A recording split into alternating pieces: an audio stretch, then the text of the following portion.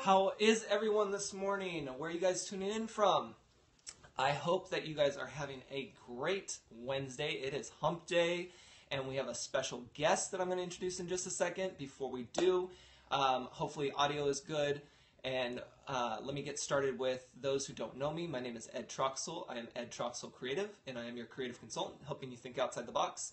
Basically, I'm the guy that makes technology stupid easy for you. What we're talking about this morning is three pointers that can help you fight the holiday weight gain. And this is stuff that can be used now and continue on forward. I will have my guest introduce herself. Hi, I'm Heather Aiello, and I've been a fitness professional for eight years. And I'm also a Beachbody coach. I got into Beachbody last year. So, my pointers today, they're three really easy ones, and you've heard them before. Okay, number one, move. Make sure you're getting your workouts in. If not, adding a little to the workouts because you know you're going to have holiday parties and dinner with the family and all that stuff. So add in some workouts, that's huge. And the second part of move is move away from the appetizers, move away from the bar. If you're conversating with family or friends, try not to hang around the food. We do that all the time at my family gatherings and I have to like hide. So the second one is be picky. You know, if you love carbs or you love dessert, be careful about what you choose to eat during your appetizers or even during the day. Just be really selective. Make sure you get in your vegetables. And the third one is enjoy. Enjoy the holidays with your friends and family. If you eat too much, you drink too much, then you wake up the next morning and you go work out. Those are the three pointers to help you fight holiday weight gain. He's good at this. He's really good. you know them. You know them. You just have to do them. I have about four, but now maybe five apps that you're going to have available for you to easily download. Most of them are free, and they'll include things where you can track your workouts, you can track your food, your calories, your everything pretty much, and uh, different workouts you can do, and including the Beachbody one as well. So there'll be some great resources for you there, and I encourage you not only to share that blog post, but more importantly, I would love for you guys to comment and give a progress update.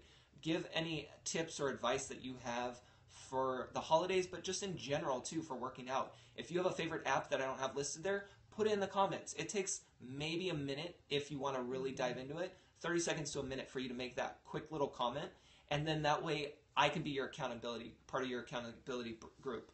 Then others who comment will also be a part of that accountability group and we can just build upon that so. You know there's a lot of options out there with fitness. There's a lot of different workouts there's a lot of different avenues there's a lot of different support groups.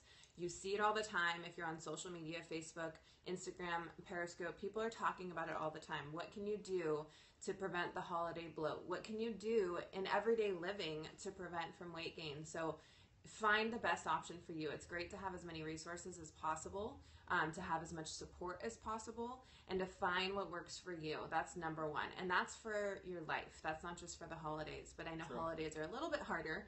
Um, so it is important to really focus in, zone in on, you know, what's important to you and focus on your goals and all of that. And if you don't have the support group around you, check it out. Go to his website. You know, I'll also um, have my website on there so you yep. can reach out to me if you need anything. I've been in the industry for a long time and, you know, not just with Beachbody, but with, you know, working at gyms, helping clients at home, corrective exercise, all those things. So reach out. Yeah. And remember, 2015 is all about doing you, it's about helping you improve yourself.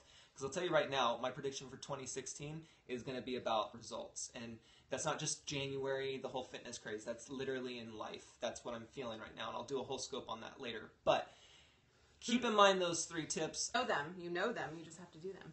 He's good at this. He's really good.